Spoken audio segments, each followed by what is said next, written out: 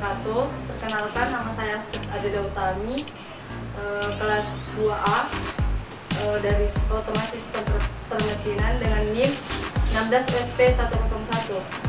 Dalam video ini saya akan menjelaskan ketiga rangkaian. Ini rangkaian yang pertama Pulse Width Modulation atau PWM, yang kedua Amplitude Modulation atau AM, dan yang ketiga Function Generator. Selanjutnya saya akan menjelaskan komponen dari ketiga rangkaian tadi. Yang pertama, pulse width modulation. Eh, terdapat terminal blok 2 satu buah, terminal blok 3 satu buah, IC LM741 dan trim pot. Kemudian amplitude modulation terdapat terminal blok 2 dua buah, terminal blok 3 satu buah, trim pot, resistor IC LM741 dan IC LM324.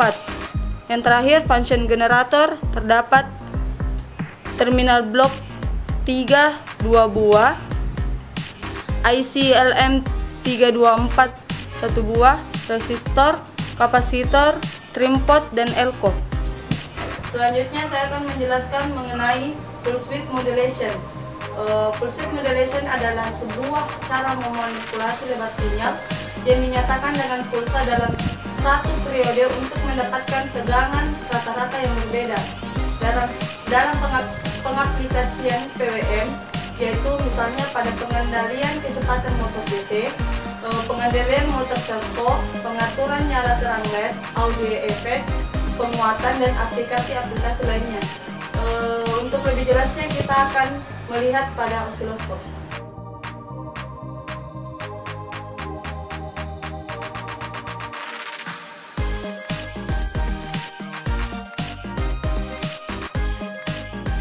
Ini adalah gelombang sepertiga input rangkaian pulse modulation dan ini adalah gelombang kotak output dari rangkaian pulse modulation.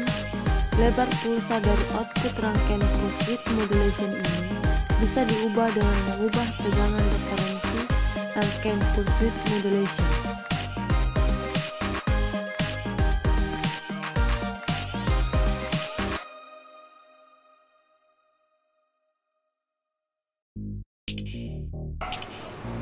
Baik, yang kedua saya akan menjelaskan mengenai amplitude modulation.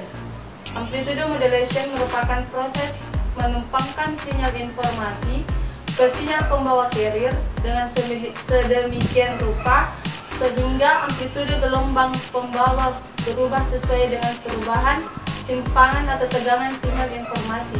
Pada pengaplikasian amplitude modulation eh, yaitu pada radio dengan teknik amplitude modulation.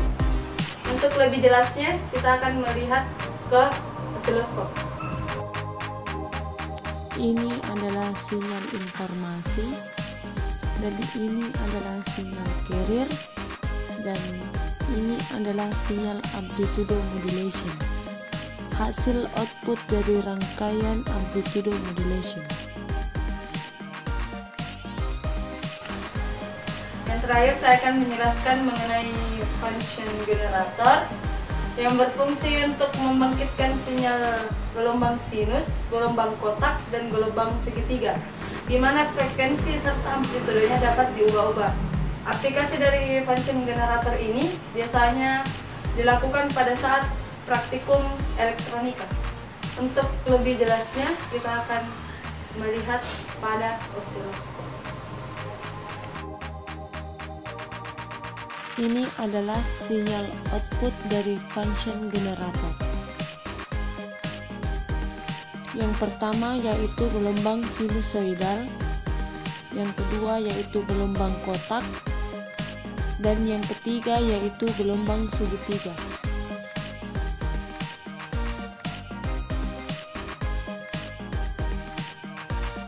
Kita bisa lihat frekuensinya bisa diubah-ubah dengan mengubah nilai potensiometer.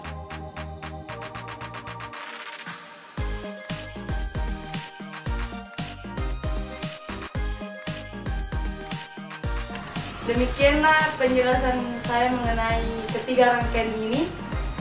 yaitu pulse width modulation, amplitude modulation, serta function generator.